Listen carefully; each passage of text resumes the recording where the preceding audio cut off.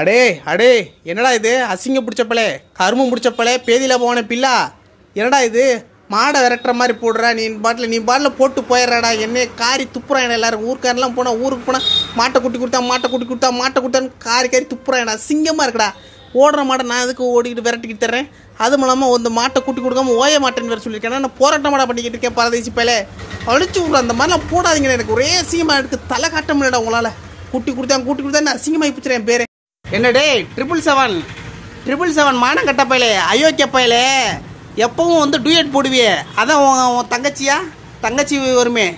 இந்த வீடியோவில் வச்சுக்கிட்டு வருவே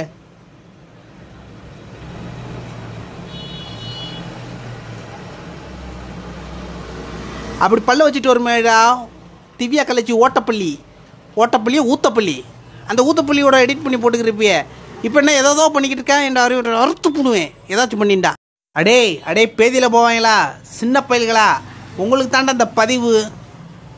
நான் இனிமேல் என்னை எவனாச்சும் புரோக்கர் அங்கே போங்க போய் ஏதோ மாமா போகிறார் இதோ மாமா போகிறார் அப்படின்னு எவனாச்சும் ஊடகத்துன்னு பார்த்தேன்னு வச்சுக்கிங்களேன். நான் அங்கேருந்து வீட்டில் இருந்து பைக்கில் வரும்போது ஹலோ மாமா மாமா மாமா அப்படின்னு கூப்பிட்றீங்க. மக்கு மாமா மக்கு மாமா சொக்கு மாமான்னு கூப்பிட்டீங்கன்னு வச்சுங்களேன் அதனுக்குள்ளே கல் எடுத்து எரிஞ்சிருவேன். தெருநாய் எரிஞ்ச மாதிரி எரிஞ்சு விடுவேன் பார்த்துங்க அதான் உங்களுக்கு மரியாதை கடைசி மரியாதை சொல்லிட்டேன். சிங்கமாக இன்ஸ்டாகிராம் நண்பர்களே இந்த காமெடி உங்களுக்கு தெரியுமா தெரியாதா? இந்த ந சம்பவம் உங்களுக்கு தெரியுமா தெரியாதா? இல்லை தெரிஞ்சுக்கிட்டு நடிக்கிறீங்களா இல்லை தெரியாத மாதிரி இருக்கீங்களான்னு எனக்கு தெரியல. நான் சொன்னால் நீங்கள் என்னை கோ கோவச்சுக்கிருவீங்க சண்டைக்கு வருவீங்க என்கிட்ட. எல்லாம் ஒரே ஒரு விஷயம் தான். அந்த இருப்பான் இருக்கான்ல அவன் வந்து போய் கோழி சேவை கொட்டை இருக்கு பார்த்தீங்களா சேவை கொட்டை அதை போய் தின்ட்டான். திண்டு கடைசியில் வாந்தி எடுத்து கிடந்தேன். அவனுக்கு இதெல்லாம் தேவையா?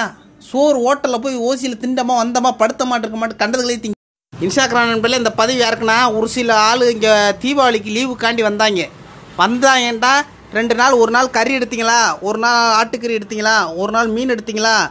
அடுத்த நாள் சாப்பிட்டுட்டு கிளம்பிடணும் இங்கேயே வந்து முட்டை அடகாக்கக்கூடாது. ஒரு சில பேர் அடகாத்துக்கிட்டுறாங்க டே பறத்து பறத்து நாகரிகம் எல்லாம் ஊர் பார்த்து கிளம்பிட்டீங்களா மறுபடியும்?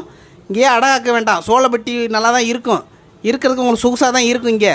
இடத்த காலி பண்ணியிருக்கடா. நீங்கள் இங்கே இருந்தீங்கன்னா அழிஞ்சு போயிடும் உருப்படாமல் போயிடும் நம்ம ஊர். ஓடிடுங்க.